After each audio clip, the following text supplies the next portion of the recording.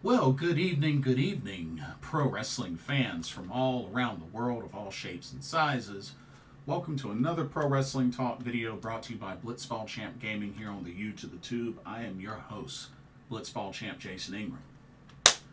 So, I finally got around to watching WWE Elimination Chamber Perth in its entirety. So I wanted to get on here and give a quick review of the event. This event took place February 24th, this past Saturday. This was at the Optus Stadium in Perth, Western Australia, Australia. Uh, there were five total matches, and they had one segment, which I'll only talk about a little bit of it. But overall, only five total matches. One of them was a kickoff match. So let's go ahead and jump into those. Um, and there were three, three of them were title matches as well. So we had three title matches. So let's go ahead. Let me get my graphics up. And let's get started with our kickoff match. Check it out. So the kickoff match was for the WWE Women's Tag Team Championships. As the champs, the Kabuki Warriors, of course, it's Asuka and Kairi Sane, put the titles on the line against Candice LeRae and Australia's impressive Indi Hartwell. And of course, quite the reception for Indi Hartwell back in her home country of Australia, which I believe she was born in Melbourne, Australia. So uh, she got quite the reception. Um, overall, decent match. Uh, I felt like the crowd was definitely hot for Indi Hartwell whenever she wrestled, so there was some good consistency there. And, you know, just Kabuki Warriors looking great as heels, definitely doing a lot of great heel work, especially in this second title reign of theirs and ever since joining damage control and kind of being the last one standing in dam- damage control. But overall, this match was pretty decent. Um, I definitely felt like Indi Hartwell was showcased pretty well in her home country. But let's keep it real. There was no way that they were going to defeat the Kabuki Warriors, especially not in the kickoff, which it would have been nice if this was added to the main card, but it is what it is. But Kairi Sane was able to pick up the victory for the Kabuki Warriors when she covered Candice LeRae for the 1 2 3 after she suffered the reverse DDT insane elbow combo. Which I wonder if have they even come up with a name for that that double team finisher? I don't think they have. I don't think they have. So it'll be interesting to see if they come up with a finisher name for that combo. But reverse DDT, insane elbow drop combo puts away Candice LeRae. Kabuki Warriors still your WWE Women's Tag Team Champions. Okay. Oh, before we go into the main card, just want to remind everybody to be sure, don't forget to check out the link in the description for Game Beauty for some awesome video game makeup and cosmetic products. And don't forget to use the promo code for 10% off of your order. Blitzball underscore champ, all in caps. So happy shopping. All right, let's go into the main card. All right, so we started off the main card with the first of two Elimination Chamber matches. Starting off with the women. Liv Morgan, Raquel Rodriguez, Naomi, the man Becky Lynch, Bianca Belair, and Tiffany Stratton. Now, for this match, uh, Naomi and Becky Lynch started off this match, while the other four ladies started off in their respective uh, chamber pods. Um, I felt like the pace was a little slow starting off between uh, Becky and Naomi, which I mean, it's been a hot minute since those two have even faced each other in a wrestling match. So, um, at least from my understanding. But I felt like the pacing was a little slow to start off with. But I think gradually, once the other ladies started joining the match out from out of their pods, I felt like it definitely got better. Definitely got better. So, just to let you know the order of when the pods opened. So, we started off with Naomi and Becky Lynch, then Tiffany Stratton, then her pod opened, then Liv Morgan, then Raquel Rodriguez, and then Bianca Belair. She hers was the last pod to open. Um now I've never really been a fan of Tiffany Stratton. Of course y'all know I call her the bimbo Barbie. But I have to say, she looked really good in this match, really showcasing her athletic ability. Um, the swanton that she did off the top of one of the pods, awesome. And just you know, she's become quite the high flyer. I gotta I gotta give it up to her. You know, I, I don't like the gimmick, but I gotta admire her in ring ability. So, and of course, you know, she's a former NXT women's champion. So I gotta give credit. I gotta give credit where credit's due, and she was definitely showcased well in this match. Uh, same thing with uh, Bianca Belair and Liv Morgan. I mean, really, all of these ladies look great. All these ladies look great. There are a lot of really cool spots. The the flying senton off the top of the chamber onto, um, I believe it was onto Raquel from Liv Morgan. That was a sick spot. That was a really sick spot. Like that was probably one of my favorite spots from that match, next to the, of course, the Tiffany Stratton Swanton. But that was a killer spot. I really like that. But yeah, just all these ladies showcased really well. Um, Naomi looked great in this match, uh, doing the um, split-legged, uh, split leg drop off the um, off the side of the cage. I thought that was pretty cool. Um, but yeah, some pretty good spots in this match overall. but let's go over the order of eliminations. So, actually, the first elimination took place before everybody got in. As a matter of fact, Naomi, unfortunately, was the first to be eliminated as she got uh, rolled up by Tiffany Stratton. So Tiffany Stratton pinned Naomi to eliminate her. So she was eliminated first. And then Raquel Rodriguez and Bianca Belair were the final two to, to enter um, the match from their chambers. Then Liv Morgan actually pinned Tiffany Stratton after she hit her with the oblivion off the turnbuckle. She usually does that off the uh, off the middle rope, but that time she did it off the turnbuckle. But she hit Tiffany with a Oblivion pinned her for the one, two, three. Tiffany's out. Then Bianca Belair pinned Raquel Rodriguez after hitting her with a KOD. So out goes Raquel. And then, surprisingly, I did not expect this to happen, but quite a quick finale sequence to this match. But Liv Morgan was able to roll up Bianca Belair with a schoolgirl pin her for the one, two, three, eliminate her. So that's two eliminations for Liv Morgan.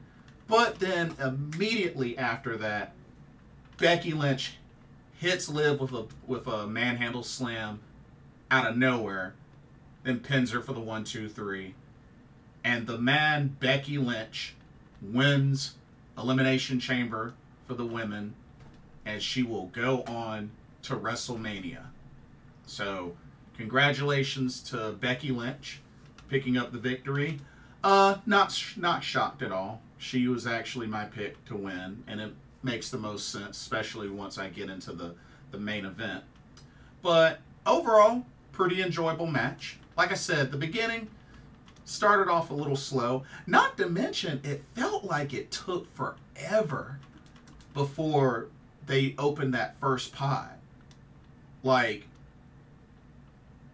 I don't know. It, it just felt like it was like 10 minutes into the match before they finally opened that first pod. But I don't know. Maybe it was just me, but it, it, it just it took forever.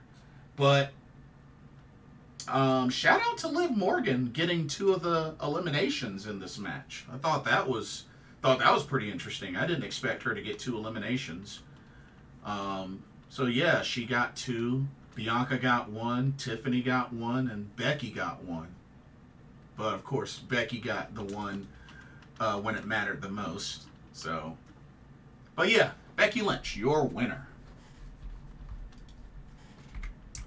All right, let's go into this next match. Um, our second title match. We had the undisputed WWE Tag Team Championships on the line.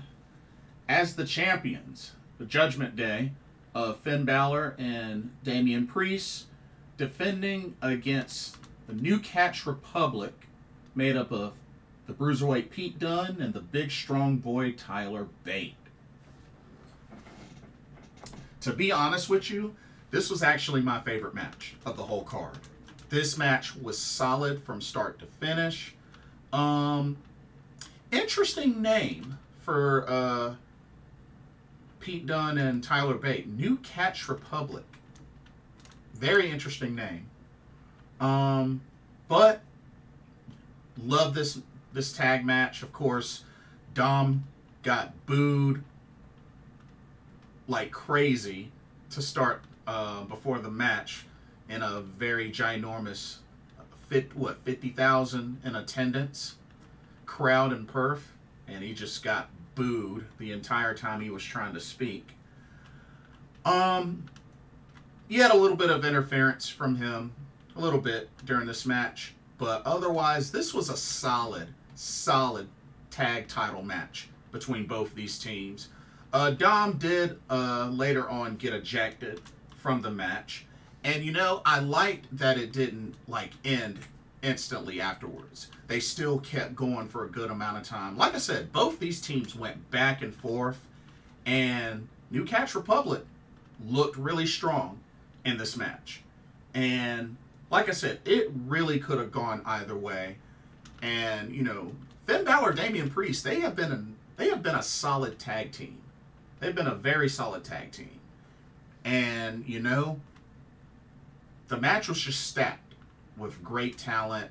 Um, I've always enjoyed Tyler Bate and Pete Dunne. Um, the only person missing is Trent Seven because I, I love me some British strong style. But overall, this was a solid match. My favorite match of the whole card.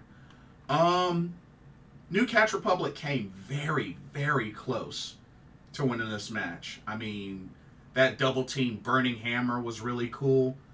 Um, and just the action was just kept me on the edge of my seat.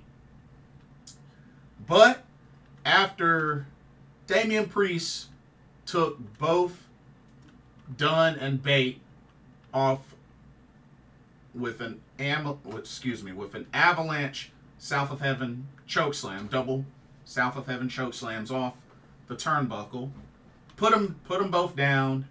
Finn Balor finished off Pete Dunne with a coup de grace then pinned him for the one two three. Judgment Day still your WWE or undisputed WWE tag team champions. Um the only thing now is, I mean, with them winning, with them retaining,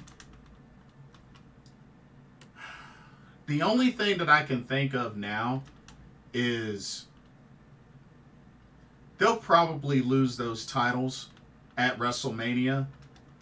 And then after they lose the titles, that's probably when Damian Priest is going to cash, whether it's on night one or on night two. But I think it's safe to say Damian is going to cash cash in his money in the bank. Whether it's a failed cash in or a successful cash in, he's going to cash in at WrestleMania. I think the writing's on the wall now. Whether it's night one or night two, I, th- I think he's going to cash in. I think he's definitely going to cash in. it's probably, honestly, it probably may even happen once Cody dethrones Roman. Maybe that's when he cashes in. Or he might cash in on whoever wins between Seth Rollins and the winner of the men's elimination chamber. There's options. There's options. All right. And like I said, they, they had the, the Grayson Waller effect segment, which, you know, they had Grayson Waller, they had Austin Theory, they had Seth freaking Rollins, they had Cody Rhodes. Honestly, I mean, I wasn't really that into it. But the only thing that really stuck out is Cody Rhodes challenging The Rock to a match anytime, anywhere, any place. All of that. So, we'll have to see what happens, but he has called out and challenged The Rock to a match. So,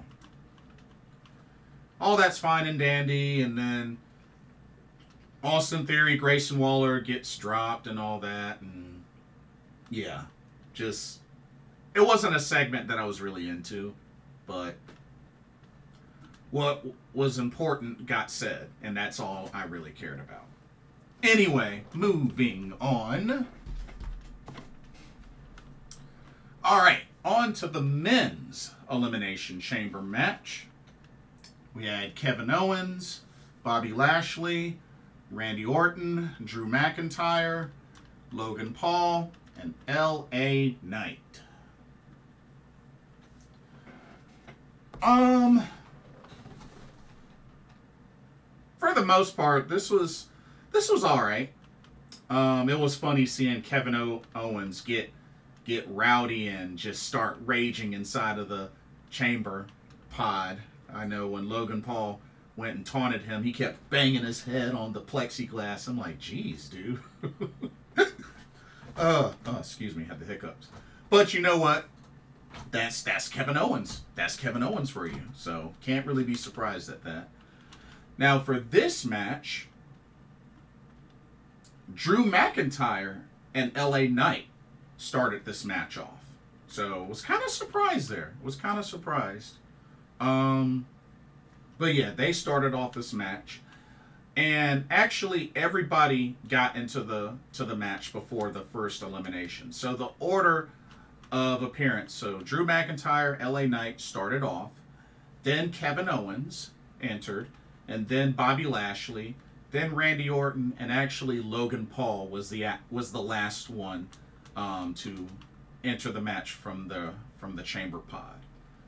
So, um, and it got pretty destructive, which Bobby Lashley was spearing the mess out of people through chamber pods. I mean, he gave a devastating one to Logan Paul through a chamber pod. Kevin Owens, soon as he had the chance, he locked himself into a pod with Logan Paul, started beating him down inside the pod. um, RKO's out of nowhere. BFTs here, BFTs there. Just all over the place. All over the place. Um but it was pretty it was pretty brutal. Very destructive match.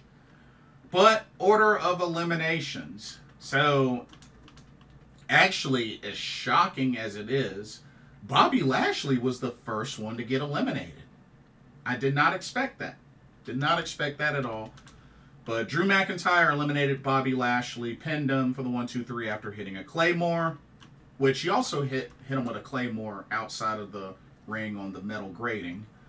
Um, and then Drew McIntyre pinned LA Knight for the one, two, three after AJ Styles got into the ring and just started beating down LA Knight with a chair, just like a steel chair onslaught on LA Knight to the point where he was down and out. Drew McIntyre made the cover, LA Knight eliminated. And then the other two eliminations actually came from Randy Orton. Eliminated Kevin Owens with an RKO and then eliminated Logan Paul with an RKO. Now, of course, Logan Paul had the brass knucks ready, looking like he was about to use them, and then just bam, RKO out of nowhere. But Randy Orton pinned Kevin Owens and pinned Logan Paul both times after RKOs. So it came down to Drew McIntyre and Randy Orton as the final two competitors. They were the final two. And while it looked like Randy Orton was getting ready to win, he hit Drew McIntyre with an RKO. And then all of a sudden, back comes Logan Paul, punches Randy Orton with the brass knucks, knocks him out. And then Drew and then Drew covers him for the one, two, three. Drew McIntyre wins the men's elimination chamber. Now, first I'll say this. I'm not surprised that Drew won. I actually picked Drew to win. But I think it's kind of a bummer how he got three eliminations and two of them, all he had to do was just make the cover. Like, it's kind of lame. It's kind of lame. You know, one person who wasn't even in the match, and then the other person who was in the match got eliminated and came back in, had to do the dirty the dirty work, and then Drew capitalized. It's kind of lame. This is Drew McIntyre we're talking about here. He doesn't necessarily need that. So it's kind of lame. Just like I said, I knew he was going to win. That was the right choice for him to win. But how it happened, not a fan of. But the only thing that I take this as is that I guess this is going to set up. excuse me. I guess this is going to set up, perhaps, AJ Styles versus LA Knight at WrestleMania and Logan Paul versus Randy Orton at WrestleMania. That's what I assume this is going to lead to. Which, I mean, you get two nights of WrestleMania, so there'll be plenty of matches between both nights. So I can see how that, how that is. I can see how that is. Who knows? They might do a triple threat. Maybe Kevin Owens, Logan Paul, Randy Orton, U.S. title on the line. Perhaps they may do that. But we shall see. And then the main event of Elimination Chamber in Perth. Ah, uh, yes. The WWE Women's World Championship on the line. As the champion, Rhea Ripley, Australia's own Rhea Bloody Ripley, defends the title against Nia Jax. First off, I want to say congratulations to Rhea Ripley just on the opportunity. I mean, who all can say that they've gotten a chance to main event a pay-per-view or PLE in your home country? Like that's that's a big deal. That is a big deal, especially main event, PLE, 50,000 in attendance. Like, 50,000 in attendance in your home country. That's that's amazing. So shout out to Rhea Ripley just on having that opportunity. And of course, the crowd was on her side the entire time. Got quite the reception. Crowd was loud. Match, you know what? I'll say this.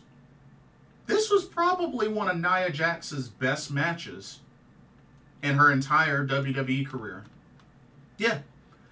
And you know, she actually did some different things that we usually don't see her do. I mean, did a torture rack, did a stretch muffler. She even tried to get onto the top rope.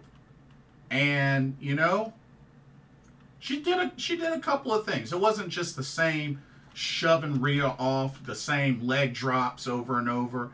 She actually did a couple of different things. So, you know what? I gotta give, and, and like I said, I get it. I know Nia Jax is not a lot of people's favorites. I know she's not a favorite of mine.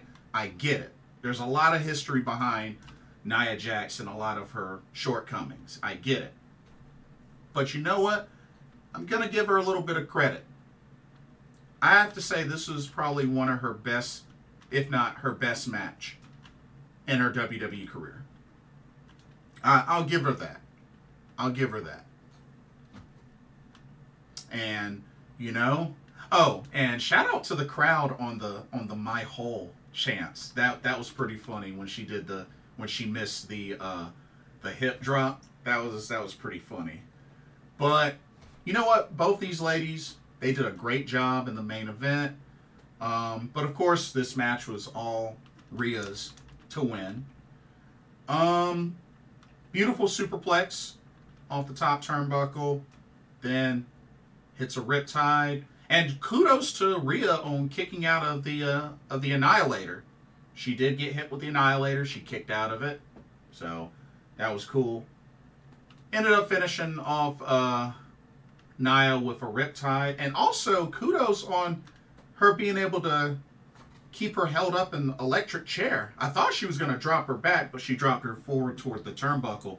Great strength there from Rhea Ripley. But Hits Nia with the Riptide. One, two, three. Rhea Ripley still your WWE Women's World Champion. so, stage has been set. We know what we're getting at WrestleMania now. So we're going to get Seth Rollins defending the title versus Drew McIntyre. And we're going to get Rhea Ripley defending her title versus the mind Becky Lynch. So so yeah, we got we got a a number of title matches set so far. So the ones I just named, um, we know we're gonna get uh, Bayley versus Iyo Sky uh, championship match as well. Of course, Bayley won the the women's Royal Rumble. Uh, we're going to get Cody versus Roman Reigns. You know, Cody run won the men's Royal Rumble. So we got that. So so yeah, both uh, main men and women's championship matches have been set. So it'll be interesting to see what kind of uh, what kind of mid card matches we get, tag team matches we get, you know it'll be interesting. See what the rest of the WrestleMania card looks like. But now that Elimination Chamber's over, it's full speed ahead to WrestleMania. They got a they got a whole month. They got a whole month to really start building some things uh, to really finish off this road to WrestleMania as they get ready to go into Philly. now, I'll say this. I actually enjoyed an Elimination Chamber Perf more than I did Royal Rumble. Yeah, I actually enjoyed it more than Royal Rumble. I know that's not by a whole lot, but I was I was overall pretty pleased with Elimination Chamber and Perf over Royal Rumble. That's that's just how I feel. That's just my opinion, how I feel. But anyway, that'll do it for this review. Like I said, there was only five matches on this on this PLE, and you know they had the one Grayson Waller effect segment, which I didn't really care that much for. But overall, I I was pleased. I was pleased. But anyway, that'll do it for this review. Don't forget to check out Game Beauty and let me know what y'all thought of Elimination Chamber and Perf. What did you think of the matches? How did you feel about the Elimination Chamber matches? Um, the title matches as well. Um, what did you like? What didn't you like? And now that that's over, what are you looking forward to with WrestleMania? Are you hyped for WrestleMania? Let me know how you're feeling. Don't forget to like, comment, subscribe, hit that notification bell while you're at it. Thank you so much for watching. Hope you enjoyed the video. For another Pro Wrestling Talk, brought to you by Blitzball Champ Gaming here on the U to the Tube. I'm your host, Blitzball Champ Jason Ingram. Hope everybody has a blessed week, and I will see y'all in the next video. Later.